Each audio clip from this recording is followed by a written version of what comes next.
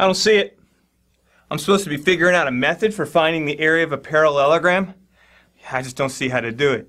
And you know what I do when I don't see how to solve a geometry problem? I get my man Harvey to help out. How's it going, Harvey? He can see things that aren't there, so he's crazy good at geometry. Got a parallelogram. What do you see, Harvey? Rectangle?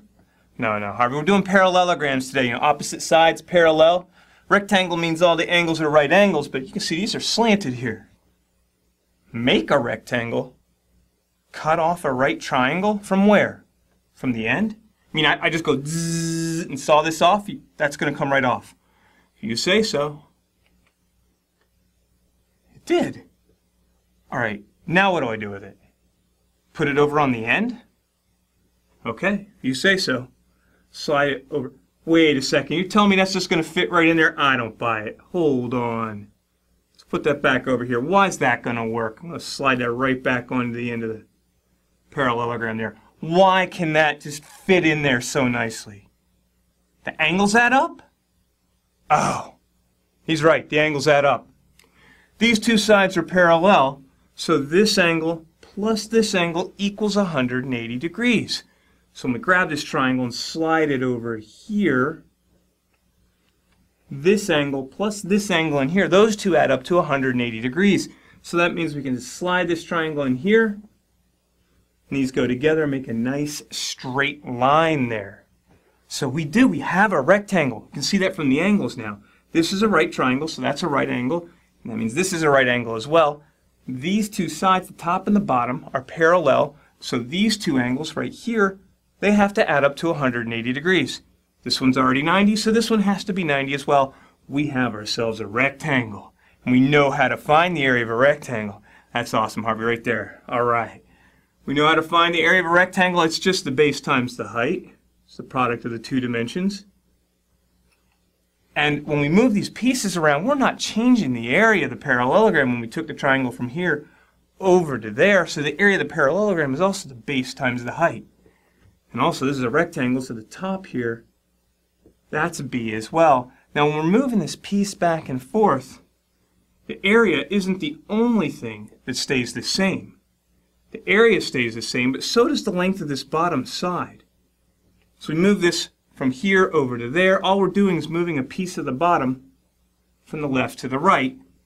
We can move it back. So this bottom of this parallelogram its length is also b. I'm going to go ahead and put that height back in there.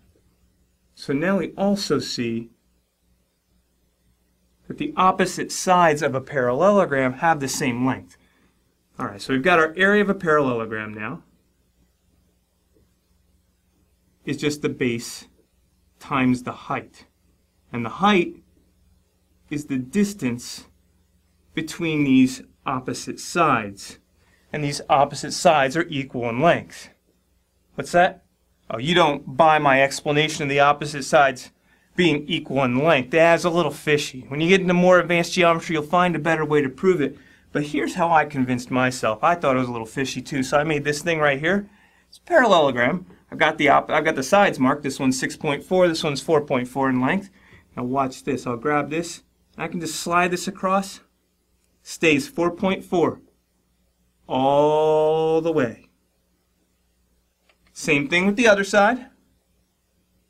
6.4 all the way. Now I know what you're thinking.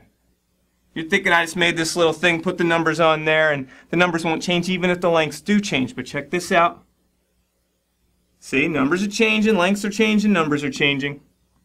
I'm not trying to trick you, at least not now. Hey, wait a second. I see something else that's pretty fishy. Check this out. Harvey, I don't quite buy your explanation of the area. Take a look at this. How you going to chop this up and make a rectangle? Got you now, don't I? I got him. What? There's still a rectangle? Now you can't chop this, slide one little piece and... Check this out. Check it out, Harvey. All right, right here, right here. All right? Parallelogram, still a parallelogram, sides parallel to this. These two are parallel. And we want to show that this times the distance between these two opposite sides is the area because we don't want to have a different formula for this parallelogram as for this one. But you can't just chop this, slide it over, and make a rectangle. Check this out, Harvey. Check this out. Yeah, you see it too, don't you? Yeah, right. We're going to put this right up here. All right, Harvey. Where's the rectangle? This isn't a rectangle. One, two, three, four, five, six sides. Six sides, not four. Where's the rectangle? I got him. What? Put it back? Okay.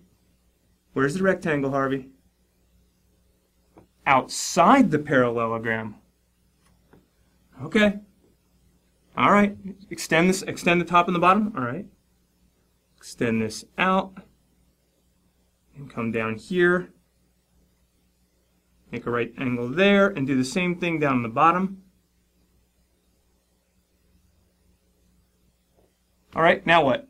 Label the sides. Okay, we'll call that the height still. It's the distance between the opposite sides, and we'll call this B and B. And we'll call that X. And well, this is a rectangle. This is a rectangle, so this is B plus X. That means this up here has to be B plus X. Now what do we do? Find the area of the parallelogram. Oh, yeah. This is that cool strategy we used, we've used a bunch of times with area. We express the area of the parallelogram in terms of pieces we can handle. We can handle the rectangle. We can handle the right triangles. All right, let's do that. So the area of the parallelogram is the area of the rectangle minus the areas of the triangles. So the area of the rectangle, well, that's just h times b plus x. This dimension times this dimension. And then we have to subtract off the areas of the two right triangles. Area of a right triangle is just 1 half times the product of the legs times h times x. And we have to multiply by 2 because we have two of these right triangles. So to figure this out, well, we'll go ahead and expand this product. h times b is hb. h times x is hx. 2 times a half, that's just 1, times h times x minus h times x. Sure enough, hx minus hx, that's just 0, and we're left with h times b, which is of course the same thing as the base times the height. So, this parallelogram, base times height.